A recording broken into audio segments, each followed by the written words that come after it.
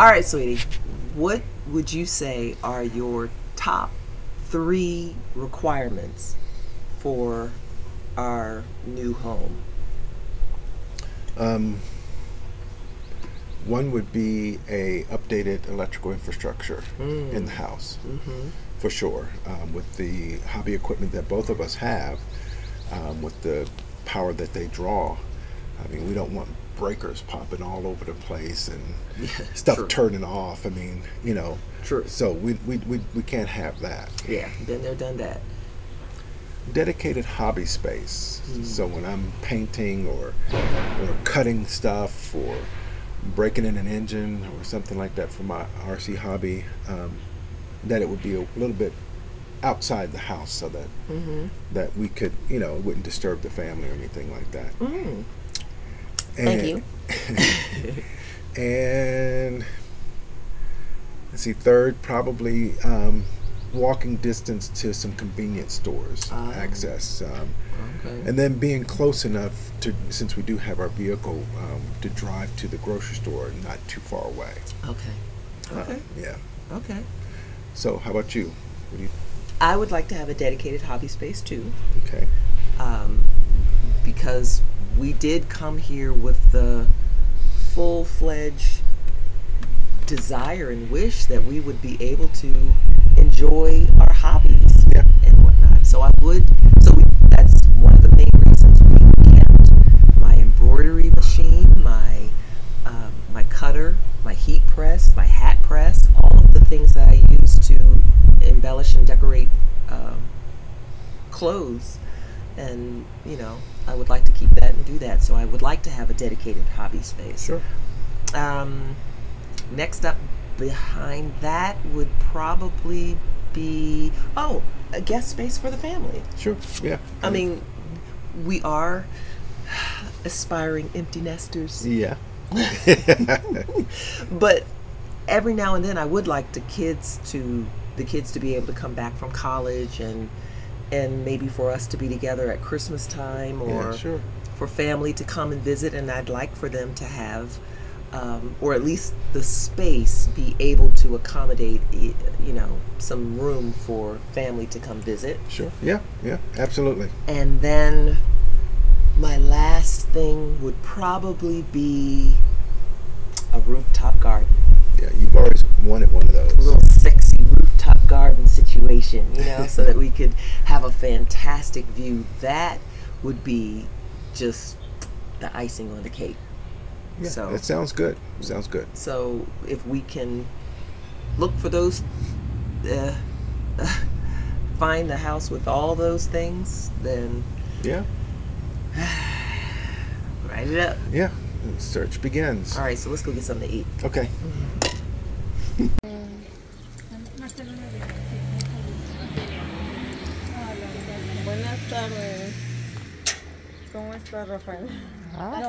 Rafaela, yo soy Marcela, ahorita viene Rafaela. Ah, ok, ok. Oh, this is pretty. This is very pretty with the fountain. Ah, and the tower.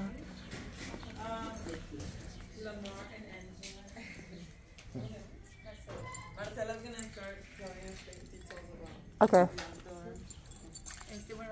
vamos a empezar a hacer el recorrido de aquí. Podemos eh, ir entrando o se ocupa de alguna zona. sí, pero no podemos grabar. No, ah, yo les voy a dar un video Claro de que lo sí. que está porque no podemos grabar. Sí. No video? no video. Yep. You heard it right. We weren't allowed to take video of the house. Once we went inside, we found out that the tenants were using the house as a medical facility and maybe without permission. So, no video. But we do have pictures of the home to give you an idea of what it looked like. That's right, so let's go.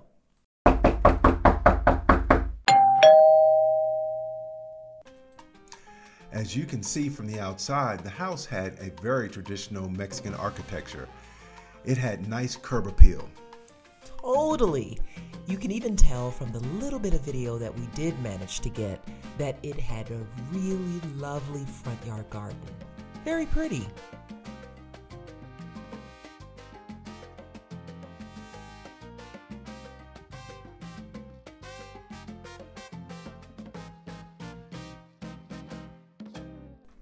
When you first enter the house, it has ceramic tile on the diagonal in the foyer and hardwood floors in the living room. Also in the living room, there were two-story wood ceilings that were open to the floor above with wrought iron railings. What really made this house stand out was that arched entryway that really brought out the two story foyer. And it had a spectacular view of the backyard that you could see from the large window in the back. The brick on the fireplace with the stonework, ah, it was just fantastic. It really gave the room character. Through the archway on the other side, it led to the dining room that had a really nice view of the garden on the back of the house. When you go into the kitchen, you will notice the large countertops, which give excellent workspace for meal preparation. A large bay window that gives an excellent view of the backyard. The kitchen also has a lot of storage. One of the really nice parts about this house had to be, hands down, the backyard. The backyard was absolutely exquisite. That's why those two story foyer views that you could see in the house really focused on the backyard. It had a great patio space with a covered lighting and covered area for you to be able to enjoy the outside, as well as a backyard basketball court and a storage shed. Also beautiful.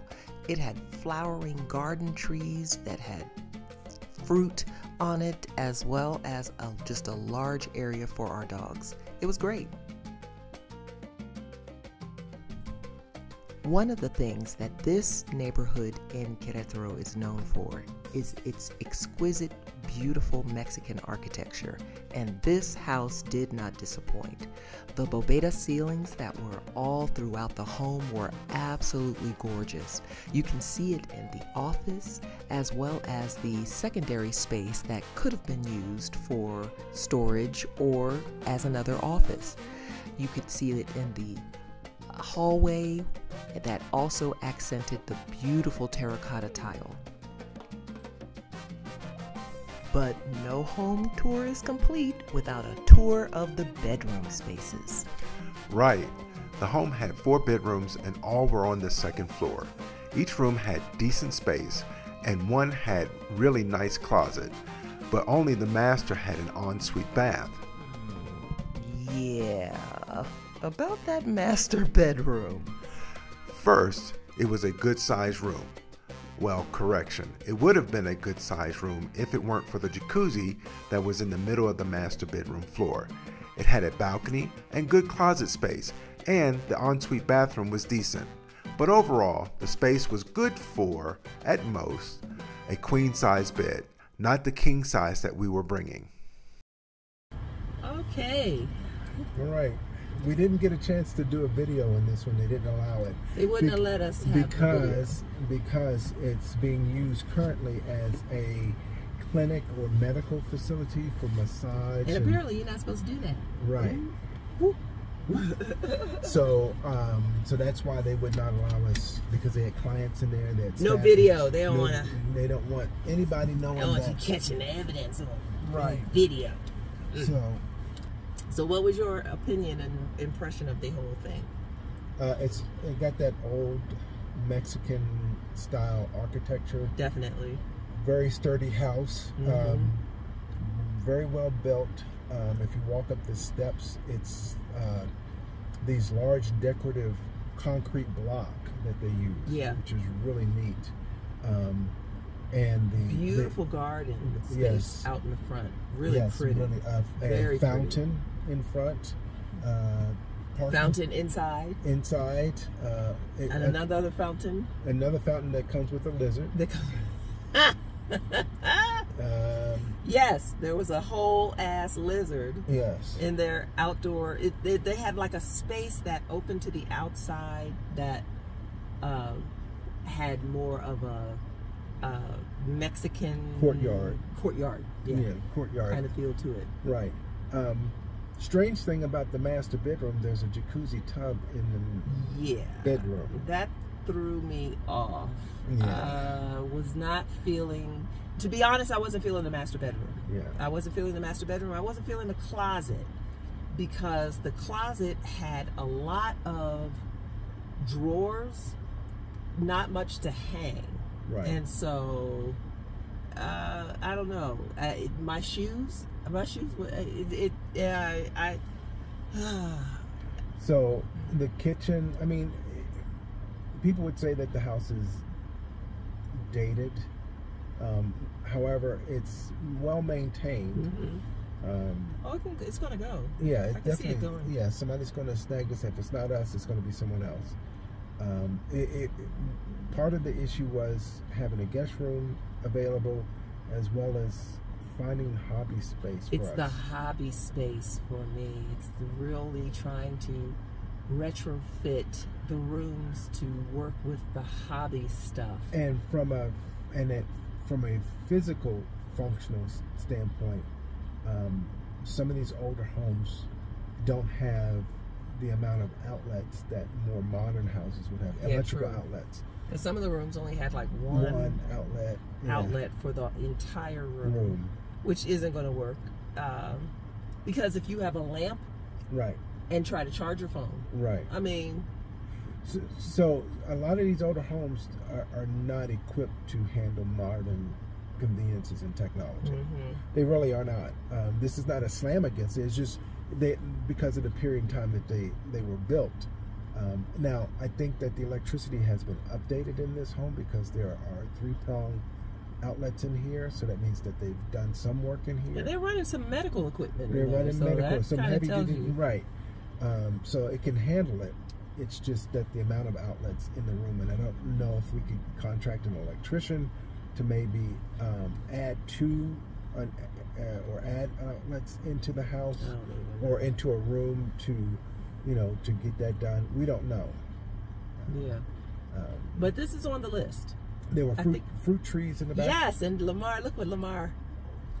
And Lim, well, No, no, no, this it's is a- a, Mandarin, Mandarin orange, orange, right? little Mandarin orange tree. Right. right. It had a Mandarin orange An tree, orange tree. a, a orange tree, a And a- lemon and a lime tree, yes. and then she said there was some other kind of fruit that's in- mango. or- a mango tree, right. and there was another fruit that's indigenous to Mexico that I forgot what the name of it Yeah. was, but that was in the backyard. Yes. It had a basketball hoop Hoop and court actually. in court in the backyard. Yes. Which I was like, oh wow, great backyard Yes. space. It had a very nice terrace space, um, which was nice as well. So we keep looking, guys. Yep. We keep looking. Keep looking. Um, I don't think we have anything else on the agenda No, not today. until Monday. Until Monday. Yeah. Yeah. All right. So, So, all right. stay tuned, guys. Stay right. tuned. Okay. Take it easy. Later.